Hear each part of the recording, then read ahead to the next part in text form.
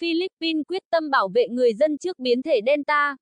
Tổng thống Philippines Rodrigo Duterte đã ra lệnh mở chương trình tiêm chủng cho mọi người dân muốn tiêm vaccine ngừa COVID-19 trong bối cảnh quốc gia Đông Nam Á này đang nỗ lực ngăn chặn các biến thể ca virus SARS-CoV-2 gây bệnh COVID-19, đặc biệt là biến thể Delta, lây lan ra diện rộng. Trong bài phát biểu tối 28 tháng 7 năm 2021, Tổng thống Duterte nêu rõ tiêm vaccine ngừa COVID-19 cho những ai muốn tiêm phòng. Ông cũng bày tỏ lo ngại về biến thể Delta nguy hiểm đang lây lan với tốc độ nhanh biến khu vực Đông Nam Á trở thành tâm dịch của thế giới.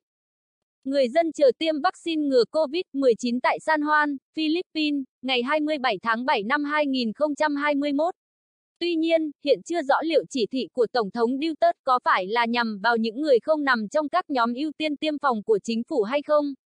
Do nguồn cung vaccine bị hạn chế, Philippines đang ưu tiên tiêm vaccine ngừa COVID-19 cho lực lượng nhân viên y tế, người cao tuổi và người trưởng thành trong độ tuổi lao động. Chỉ có 6% trong tổng số 110 triệu dân ở Philippines đã được tiêm vaccine ngừa COVID-19 đầy đủ trong khi hàng triệu người vẫn có nguy cơ lây nhiễm. Chính phủ Philippines đang đặt mục tiêu tiêm chủng cho 70 triệu dân trước cuối năm nay. Cho đến nay, nước này đã ghi nhận 119 ca nhiễm biến thể Delta, Tuy nhiên, các chuyên gia y tế cho rằng có thể có thêm các ca nhiễm chưa phát hiện do tiến độ giải trình tự gen của nước này còn chậm. Với hơn 1,5 triệu ca mắc COVID-19 và hơn 27.000 ca tử vong, Philippines là nước chịu tác động lớn thứ hai của dịch COVID-19 ở Đông Nam Á, sau Indonesia. Sau theo phóng viên thông tấn xã Việt Nam tại Praha, dịch bệnh COVID-19 ở CSX tiếp tục có đà cải thiện khi tốc độ lây lan chậm lại với số ca nhiễm mới được ghi nhận là 252 người trong ngày 27 tháng 7, giảm trong 10 ngày liên tiếp. Tốc độ lây lan của dịch đang ở mức thấp nhất kể từ cuối tháng 6 với hệ số 0,86. Tính đến hết ngày 26 tháng 7, Bộ Y tế Séc đã triển khai được tiêm 10 064.380 liều vaccine phòng COVID-19. Kể từ khi chương trình tiêm chủng quốc gia được triển khai từ cuối tháng 12 năm 2020 đến nay, hơn 4,64 triệu người đã hoàn thành tiêm chủng đủ hai liều trên tổng số 10,7 triệu dân. SEC đã sử dụng 4 loại vaccine của các hãng Pfizer, BioNTech, Moderna, AstraZeneca và Johnson và Johnson. Trong đó, khoảng 82% là vaccine của Pfizer, BioNTech, hơn 8% là vaccine AstraZeneca và Moderna. Vaccine Johnson và Johnson chỉ sử dụng một liều đã được tiêm cho hơn 122.700 người. Sau cuộc họp nội các ngày 26 tháng 7, Bộ trưởng Y tế Séc Adam Wojtek cho biết theo thỏa thuận của Liên minh châu Âu, EU, về việc viện trợ 100 triệu liều vaccine ngừa COVID-19 cho các nước ngoài EU, chính phủ Séc đã quyết định viện trợ 2,39 triệu liều vaccine ngừa COVID-19 cho các nước khu vực Ban Can, châu Á và châu Phi, trong đó có 250.000 liều vaccine tặng cho Việt Nam để chống dịch. Từ khi dịch bệnh COVID-19 bùng từ tháng 3 năm 2020 đến nay, xét ghi nhận tổng cộng 1.672.764 ca mắc và 30.362 ca tử vong, gần 32,5 triệu xét nghiệm đã được thực hiện và khoảng 98% người bệnh bình phục. Theo công bố của Bộ trưởng Wojtek, từ ngày 1 tháng 8, tại các sự kiện thể thao và văn hóa sẽ được tổ chức với tối đa 7.000 người tham dự ở ngoài trời và 3.000 người trong nhà với điều kiện những người này đã tiêm chủng, hoặc có xét nghiệm âm tính với virus SARS-CoV-2, hay đã khỏi bệnh COVID-19 qua 180 ngày. Các quy định đối với hoạt động tại các bể bơi và triển lãm cũng được nới lỏng. 28 tháng 7 năm 2021 SARS-CoV 2019 01 Bắc Mỹ. Tổng số trường hợp 41 triệu 953.620. Tổng số người chết 935.182. Tử vong 1.613, 1 triệu người. Tổng số dân số 579 triệu. 02, Nam Mỹ. Tổng số trường hợp 35 triệu 177.416. Tổng số người chết 1 triệu 078.953. Tử vong 2.496, 1 triệu người. Tổng số dân số 430 triệu. 03 châu Âu. Tổng số trường hợp 50 triệu 965.168. Tổng số người chết 1 triệu 128.809. Tử vong 1.550, 1 triệu người. Tổng số dân số 746 triệu. 04 châu Á. Tổng số trường hợp 60 triệu 937.116. Tổng số người chết 878.369. Tử vong 186 phần 1 triệu người. Tổng số dân số 4 tỷ 600 triệu. 05. Châu Phi. Tổng số trường hợp 6 triệu 572.923. Tổng số người chết 166.034. Tử vong 125 phần 1 triệu người. Tổng số dân số 1 tỷ 300 triệu. 06. Châu Úc. Tổng số trường hợp 98.907. Tổng số người chết 1.500. Tử vong 34 phần 1 triệu người. Tổng số dân số 43 triệu. 07. Đông Nam Á. Tổng số trường hợp 6 triệu 912.526. Tổng số người chết 136.251. Tử vong 208 phần 1 triệu người. Tổng số dân số 655 triệu. Thành phố Hồ Chí Minh, trong một ngày, hơn 4.300 bệnh nhân COVID-19 xuất viện. Nhìn bác sĩ ở bệnh viện, f0 từ bỏ ý định trốn viện. Nỗi sợ hãi bệnh tật khiến tôi nung nấu ý định trốn viện nhưng ngày đêm chứng kiến các y bác sĩ, lực lượng hậu cần phải làm việc bất bả âm thầm, tôi đã bình tĩnh lại, một F0 chia sẻ. Nỗi sợ của F0, anh LT cư trú ở phường Tân Thới Nhất, quận 12 làm nghề kinh doanh tự do. Từ khi tình hình dịch bệnh COVID-19 có diễn biến phức tạp tại thành phố Hồ Chí Minh, anh phải tạm đóng cửa hàng. Đầu tháng 7, anh có kết quả dương tính với nCoV và được chuyển đến BV dạ chiến thu dung COVID-19 số 2 cách ly, điều trị. Anh cho biết, nhà rất neo người. Trong tình hình dịch bệnh có diễn biến phức tạp, cả nhà phải thực hiện cách ly, anh vô cùng lo lắng. Một F0 không có triệu chứng đang cách ly, điều trị tại BV dạ chiến số 6. Ngày mới đến bệnh viện, anh đứng ngồi không yên. Anh sợ bệnh của mình chuyển nặng, không có người thân ở bên chăm sóc sẽ rất cực. Lúc đó, anh đã có ý định sẽ bỏ trốn về nhà. Nỗi sợ hãi bệnh tật khiến tôi nung nấu ý định trốn viện nhưng ngày đêm chứng kiến các y bác sĩ, lực lượng hậu cần tại bệnh viện phải làm việc vất vả, tôi đã bình tĩnh lại. Tôi nhận ra, dù phải cách ly ở bệnh viện, nhưng sự quan tâm của các y bác sĩ cũng ấm áp như một gia đình. May mắn, tôi đã gạt bỏ ý định bỏ trốn, nếu hành động sai lầm, trốn ra ngoài sẽ có nguy cơ lây dịch bệnh cho người thân và cộng đồng, anh T. chia sẻ.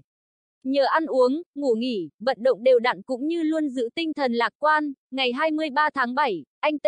được xuất viện. Mang ba lô hành lý rời khỏi bệnh viện trở về nhà với người thân, anh vừa vui vừa hân hoan. Bác sĩ CKII Tống Hồ Tứ Phương, khoa tai mũi họng, Bệnh viện Nhi Đồng thành phố, đang làm nhiệm vụ chăm sóc, điều trị các F0 tại BV dạ chiến thu dung COVID-19 số 4, cho biết, căng thẳng, khó chịu, cáu gắt, đòi hỏi là điểm chung của rất nhiều bệnh nhân khi mới nhập viện. Lý giải về điều này, bác sĩ Phương cho rằng, nguyên nhân ngoài lo sợ khi mình bị bệnh còn vì điều kiện sinh hoạt, thời tiết nóng ở bệnh viện không thể thoải mái như ở nhà.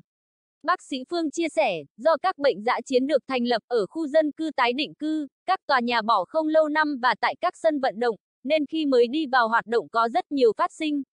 Như nguồn điện chập chờn, nguồn nước không đủ mạnh, hay các sự cố chủ quan trong cung cấp khẩu phần ăn do số lượng F0 tăng nhanh, nhà cung cấp suất ăn không cung cấp kịp dễ gây phiền hà, không thoải mái cho bệnh nhân là điều dễ hiểu. Vì điều này, dù lực lượng mỏng, các y bác sĩ, lực lượng làm hậu cần tại bệnh viện luôn làm việc hết mình, phục vụ bệnh nhân tận tình để họ yên tâm điều trị bệnh. Tiến sĩ BS Nguyễn Tri Thức, Giám đốc BV hồi sức COVID-19 đưa giấy ra viện cho các F0 khỏi bệnh. Liệu pháp tinh thần hỗ trợ bệnh nhân mau khỏi? Ngoài anh T, từ ngày 20 tháng 7 đến nay, BV giã chiến số 2 đã có 1.820 bệnh nhân xuất viện. Nói về phương pháp điều trị tại bệnh viện, bác sĩ CKII Bùi Văn Thanh, Bệnh viện Răng Hàm Mặt, Trung ương thành phố Hồ Chí Minh, đang tham gia quản lý, điều trị tại Bệnh viện Dạ chiến số 2 cho biết, do bệnh COVID-19 chưa có thuốc đặc trị, vì vậy, các bác sĩ đã áp dụng chiến thuật điều trị triệu chứng kết hợp với động viên, củng cố tinh thần cho từng người bệnh. Liệu pháp tinh thần đóng vai trò quan trọng trong việc điều trị cho bệnh nhân COVID-19. Lúc đầu vào bệnh viện ai cũng hụt hẫng, lo âu hoặc than vãn nhiều chuyện. Vì vậy, ngoài cung cấp các phần ăn đầy đủ chất dinh dưỡng, các y bác sĩ còn thường xuyên tục trực để củng cố tinh thần cho họ. Khi có bất thường thì xử lý ngay, bác sĩ Thanh nói. Bác sĩ CKII Trần Văn Khanh, Giám đốc BV dã chiến thu dung COVID-19 số 3 cho biết, nơi đây đã có 936 F0 được xuất viện. Họ đa phần là những bệnh nhân không triệu chứng và tự khỏi sau 7 tháng 10 ngày. Một bệnh nhân COVID-19 được tặng quà khi xuất viện về nhà tiếp tục cách ly. Theo bác sĩ Khanh, đối với các F0 không có triệu chứng, triệu chứng nhẹ, bệnh viện chọn cách giúp họ nâng cao thể lực, sức đề kháng để họ tự phục hồi. Khi vừa chuyển đến bệnh viện, Hầu hết các F0 đều lo sợ, chúng tôi ngoài chăm sóc, điều trị còn động viên, khích lệ tinh thần họ. Việc này được làm bằng cách để họ theo dõi các chương trình giải trí, xem các thông tin hữu ích. Các bác sĩ điều trị sẽ lập một nhóm chung để các bệnh nhân trao đổi, thảo luận với nhau. Ai có triệu chứng sẽ báo ngay để bác sĩ cho thuốc. Cách làm này giúp bệnh nhân yên tâm hơn, bác sĩ Khanh cho biết. Theo bác sĩ Khanh, để nâng cao thể trạng, bệnh nhân phải cố gắng ăn uống đầy đủ, không bỏ bữa, uống nhiều nước, bổ sung thêm các dưỡng chất nếu có điều kiện. Ngoài họ phải bổ sung vitamin để tăng cường chất đề kháng. Các F0 sẽ phải vận động thường xuyên để cơ thể tiết mồ hôi. Đặc biệt, họ sẽ bị cấm tuyệt đối hút thuốc lá, sử dụng các chất kích thích. Nếu làm theo các hướng dẫn của bác sĩ, đa phần F0 không có triệu chứng sẽ tự khỏi sau 8 tháng 10 ngày. Còn đối với các F0 có triệu chứng nhẹ, ngoài giúp họ bổ sung dưỡng chất, các bác sĩ thăm khám, động viên từ xa để cấp thuốc, kịp thời ứng phó khi có tình huống nặng xảy ra. Bác sĩ Khanh cũng cho rằng, các F0 sau khi được xuất viện về nhà tự cách ly cũng nên áp dụng những điều trên để bệnh không tái phát và bảo vệ sức khỏe của mình. Chấm chấm chấm, Trung Quốc công bố kết quả thử nghiệm lâm sàng vaccine COVID-19 dạng hít.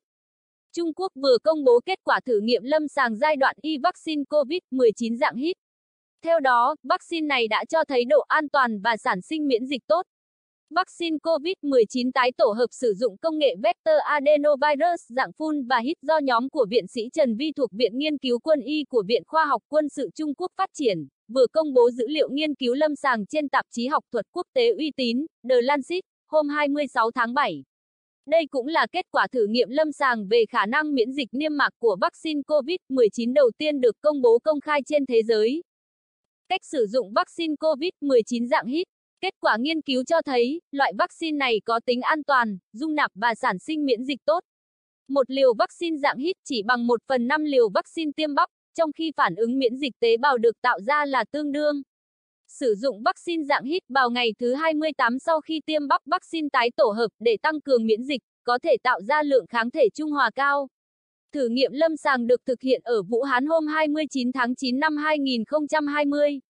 So với miễn dịch tế bào và thể dịch được hình thành bởi vaccine dạng tiêm, vaccine dạng hít có thể tạo ra miễn dịch niêm mạc trong cơ thể người, ngăn ngừa virus xâm nhập và ngăn chặn virus lây lan ngay từ phòng tuyến đầu tiên. Người sử dụng không cần tiêm, mà chỉ cần hít vaccine vào đường hô hấp và phổi qua thiết bị sông khí dung, là có được bộ ba bảo vệ, gồm miễn dịch niêm mạc, miễn dịch tế bào và miễn dịch thể dịch. Theo nhà nghiên cứu Hầu Lợi Hoa, thuộc Viện Nghiên cứu Quân y của Viện Khoa học Quân sự Trung Quốc, vaccine dạng hít được chủng ngừa bằng cách hít, an toàn và tiện lợi hơn, bởi loại vaccine này không gây ra các phản ứng bất lợi như sưng đau cánh tay, điều có thể làm giảm mức độ sẵn sàng tiêm chủng của người dân. Thứ hai, liều lượng vaccine dạng hít thấp, giúp gia tăng đáng kể sản lượng vaccine. Thứ ba, việc không sử dụng bơm tiêm, có thể giải quyết hiệu quả vấn đề xử lý rác thải y tế sắc nhọn. Hiện thử nghiệm lâm sàng giai đoạn 2 của loại vaccine này đang được tiến hành. Tiếp theo, các nhà nghiên cứu Trung Quốc sẽ đăng ký sử dụng khẩn cấp cho vaccine. Gạch chéo chấm. Philippines quyết tâm bảo vệ người dân trước biến thể Delta. Tổng thống Philippines Rodrigo Duterte đã ra lệnh mở chương trình tiêm chủng cho mọi người dân muốn tiêm vaccine ngừa COVID-19 trong bối cảnh quốc gia Đông Nam Á này đang nỗ lực ngăn chặn các biến thể ca virus SARS-CoV-2 gây bệnh COVID-19 đặc biệt là biến thể Delta, lây lan ra diện rộng. Trong bài phát biểu tối 28 tháng 7 năm 2021, Tổng thống Duterte nêu rõ tiêm vaccine ngừa COVID-19 cho những ai muốn tiêm phòng. Ông cũng bày tỏ lo ngại về biến thể Delta nguy hiểm đang lây lan với tốc độ nhanh biến khu vực Đông Nam.